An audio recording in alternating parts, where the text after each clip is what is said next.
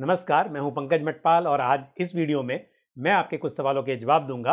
वो सवाल जो आपने मुझसे कमेंट करके पूछे हैं मेरे वीडियोस पर। तो शुरू करते हैं ये कार्यक्रम और लेते हैं कि करके कुछ सवाल। पहला सवाल जो मैं ले रहा हूँ, ये पूछा है परमिंदर सामराव ने। परमिंदर जी ने बताया कि उनकी एज 35 ईयर्स की है और वो एसबीआई म्यूचुअल फंड में इन्वेस्ट करना चाहते हैं और five hundred rupees per month की एसआईपी या फिर फिफ्टी थाउज़ेंड लमसम वो करना चाहेंगे पच्चीस साल के लिए और उन्होंने एक स्कीम भी सिलेक्ट की है और मेरी राय उस पर जानना चाहते हैं और स्कीम है एसबीआई टेक्नोलॉजी अपॉर्चुनिटीज़ फंड तो परमिंदर जी, पहली बात तो यह है कि अगर आप पाँच सौ रुपये या फिफ्टी थाउज़ेंड में से डिसाइड करना चाहते हैं कि लमसम या एसआईपी तो मेरी राय ये है कि आपको एसआईपी तो यहाँ पर नहीं करनी चाहिए क्योंकि अगर ऑलरेडी आपके पास फिफ्टी थाउज़ेंड रुपीज़ अवेलेबल हैं तो आप उन्हें एक साथ ना सही, लेकिन तीन चार किस्तों में इन्वेस्ट कर दीजिए। तो आप, जैसे कि पचास हज़ार करने हैं तो टेन टेन थाउज़ेंड करके फाइव टाइम्स में आप विद इन अ मंथ उनको इन्वेस्ट कर सकते हैं, या फिर आप एसटीपी यानी कि सिस्टमेटिक ट्रांसफ़र प्लान का सहारा ले सकते हैं। एसआईपी में बेसिकली इन्वेस्टमेंट किस्तों में होता है, लेकिन हर इंटरवल पर मतलब कि महीने का आपने डिसाइड किया है या फिर आपने वीकली एसआईपी की है, जो भी आपने तय किया है, उस हिसाब से आपके अकाउंट से वो राशि डेबिट होती है, जो आपने डिसाइड की है, और उसके बदले में आपको म्यूचुअल फंड्स की यूनिट्स मिलती हैं। लेकिन एसटीपी में आप उन पैसों को एक लमसम में किसी लो रिस्क वाले डेट ओरिएंटेड म्यूचुअल फंड में इन्वेस्ट कर देते हैं और फिर आपने जैसा तय किया हुआ है डेली वीकली मंथली कि उस लो रिस्क डेट फंड जैसे कि डेट ओरिएंटेड फंड्स में लिक्विड फंड या फिर अल्ट्रा शॉर्ट ड्यूरेशन फंड जहाँ आपने इन्वेस्ट किया है, वहाँ से अमाउंट डेबिट होगा तो आप एसटीपी के ज़रिए भी इन्वेस्ट कर सकते हैं। और आप यहाँ पर अगर आप वीकली एसटीपी करते हैं तो ऐसा कीजिए कि पूरे फिफ्टी थाउज़ेंड रुपीज़ आपके दो से तीन महीने में पूरे इक्विटी फंड में ट्रांसफ़र हो जाएँ। अब आते हैं स्कीम पर। आपने कहा कि आपको एसबीआई म्यूचुअल फंड में इन्वेस्ट करना है, ये कोई बात नहीं अच्छा आपका चुनाव है, लेकिन जो स्कीम आप बात कर रहे हैं, आपको उसमें इन्वेस्ट नहीं करना चाहिए। क्योंकि आपके सवाल से मैं समझ सकता हूँ कि आप एक नए इन्वेस्टर हैं और आपको एक डाइवर्सिफाइड इक्विटी फंड में इन्वेस्ट करना चाहिए। एसबीआई टेक्नोलॉजी अपॉर्चुनिटीज़ फंड एक सेक्टोरल फंड है जो सिर्फ़ टेक्नोलॉजी सेक्टर्स की जो कंपनीज़ हैं उनमें इन्वेस्ट करता है। कई बार किसी भी सेक्टर में किसी भी कारणों से वो पॉलिटिकल रीजन हो सकते हैं या फिर डॉलर और आईएनआर का जो एक्सचेंज रेट में फ्लक्चुएशन है, उसका फ़र्क पड़ सकता है, या फिर किसी भी कारण से जियो रीजन हो सकते हैं तो एक सेक्टरल फंड में इन्वेस्ट करने की बजाय यदि आप डाइवर्सिफाइड फंड में करेंगे, वहाँ पर मल्टीपल सेक्टर्स होते हैं। एक सेक्टर यदि किसी वजह से परफॉर्म नहीं कर पा रहा है तो दूसरे जो सेक्टर्स हैं, उनकी परफॉर्मेंस की वजह से आपको जोखिम शायद ज़्यादा नहीं उठाना पड़ेगा और बेहतर रिटर्न्स की आप उम्मीद कर पाएँगे। तो ऐसे में यदि आप S B I multi cap fund में इन्वेस्ट करना चाहें या S B I large and mid cap fund में इन्वेस्ट करेंगे तो मेरे हिसाब से ये एक बेहतर चॉइस हो सकती है। और अब बढ़ते हैं आगे, लेते अगला सवाल जो पूछा है राकेश शर्मा ने। राकेश जी का सवाल यह है कि उन्हें 12 साल के लिए इन्वेस्ट करना है और कुल 40 लाख रुपए इन्वेस्ट करना चाहते हैं। सवाल यह है कि क्या मैं 20 लाख स्मॉल कैप फंड में और 20 लाख मिड कैप फंड में इन्वेस्ट कर दूँ, ये पैसे मुझे 12 साल तक नहीं चाहिए।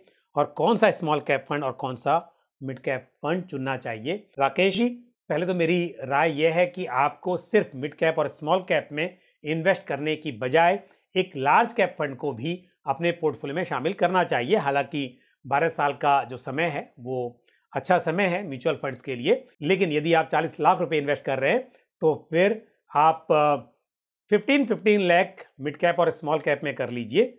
लेकिन दस लाख रुपए एक आप निफ्टी फिफ्टी इंडेक्स फंड में भी इन्वेस्ट कीजिए।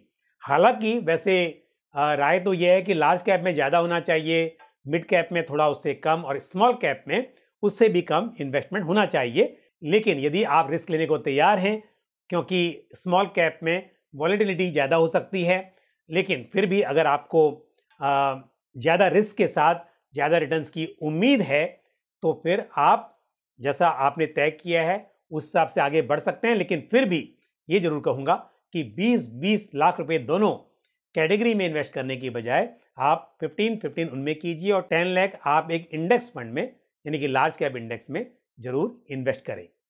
स्कीम का जहाँ तक सवाल है आ, लार्ज कैप इंडेक्स के लिए आप Axis Nifty hundred index fund में इन्वेस्ट कर सकते हैं, या फिर आप I C Prudential Nifty fifty index fund भी चुन सकते हैं। और जहाँ तक मिड कैप और स्मॉल कैप का सवाल है, मिड कैप के लिए आप Motilal Oswal, mid cap fund या कोटक इमर्जिंग इक्विटीज फंड, इनमें से किसी एक स्कीम में कर सकते हैं, या फिर आप दोनों स्कीम को भी अपने पोर्टफोलियो में शामिल कर सकते हैं। दो मिड कैप फंड भी आपके पोर्टफोलियो में रह सकते हैं। और स्मॉल कैप फंड्स के लिए भी मेरी राय है कि आप दो फंड्स अपने पोर्टफोलियो में शामिल कर सकते हैं। एक स्कीम हो सकती है Nippon India small cap fund, जो कि एक well diversified small cap fund है, और साथ ही आप एक क्वांट स्मॉल कैप फंड को अपने पोर्टफोलियो में शामिल कर सकते हैं। और अब लेते हैं अगला सवाल, जो पूछा है कैलाश चंद्र राजौरा ने।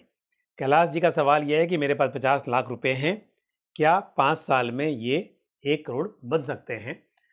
कैलाश जी अगर पचास लाख को पाँच साल में एक करोड़ बनना है तो इसका मतलब यहाँ पर फिफ्टीन परसेंट का compounded annual growth rate expect यानी कि किया जाना चाहिए। या ये कहें कि यहाँ पर अगर 15 परसेंट के रेट से पैसा बढ़ेगा तो 50 लाख रुपए पाँच साल में एक करोड़ बन सकते हैं। तो जैसा मैंने कहा कि बन सकते हैं, लेकिन गारंटीड नहीं है। हम जब लॉन्ग टर्म की बात करते हैं तब भी म्यूचुअल फंड्स में 12 परसेंट का सी एज्यूम करते हैं। यहाँ पर 15 परसेंट का रिटर्न एज्यूम करना पाँच साल के लिए या उम्मीद करना, ये थोड़ा मुश्किल है।